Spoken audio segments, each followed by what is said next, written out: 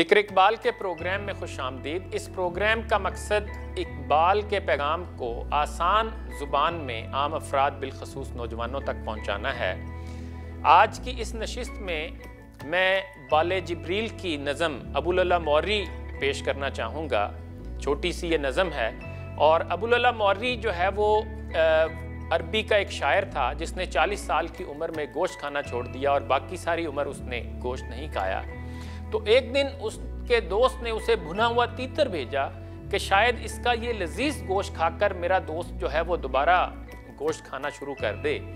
تو اس بھنے ہوئے تیتر کو سامنے پا کر اس شاعر اور دانشور نے جو بات کہی، اس کو اقبال نے بیسیکلی جو ہے وہ موضوع بنایا ہے اس نظم میں۔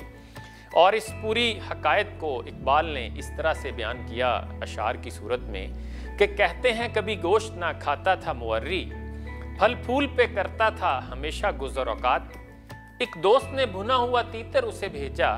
شاید کہ یہ شاطر اسی ترکیب سے ہو مات۔ یہ خانے تر و تازہ موری نے جو دیکھا، کہنے لگا وہ صاحب غفران و لزومات غفران اس کے رسالے کا نام تھا، ابو اللہ موری کے۔ اور لزومیات جو تھا، وہ اس کے قصائد کا مجموعہ تھا۔ تو کہنے لگا وہ صاحب غفران و لزومات اے مرغ کے بیچارہ، ذرا یہ تو بتا تو، تیرا وہ گناہ کیا تھا؟ یہ ہے جس کی مقافات افسوس صد افسوس کے شاہی نہ بنا تو۔ دیکھے نہ تیری آنکھ نے فطرت کے اشارات۔ تقدیر کے قاضی کا یہ فتوہ ہے ازل سے۔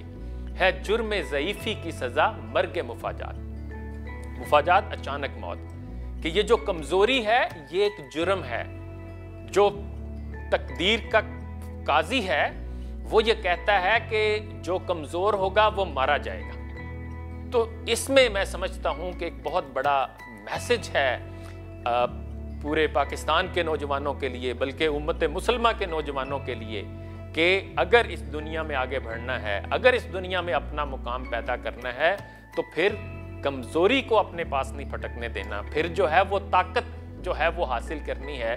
ایک اور جگہ اقبال نے اس کو اسی طرح اس طرح بیان کیا کہ وہ نبوت ہے مسلمان کے لیے کار حشیش۔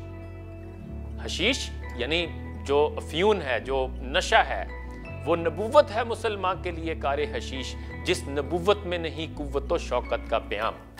یعنی جو ہے وہ قوت ہوگی تو آپ کی بات مانی جائے گی، قوت ہوگی تو آپ کی بات سنی جائے گی، قوت ہوگی تو آپ ایون دین کو امپلیمنٹ کر سکیں گے، ورنہ دنیا میں آپ کسی کام کے نہیں رہیں گے۔ انہی گزارشات کے ساتھ اجازت لیتا ہوں، انشاءاللہ فکر اقبال کی اگلی نشست میں آپ سے بات ہوگی، اپنا خیال رکھیے گا۔ اللہ حافظ۔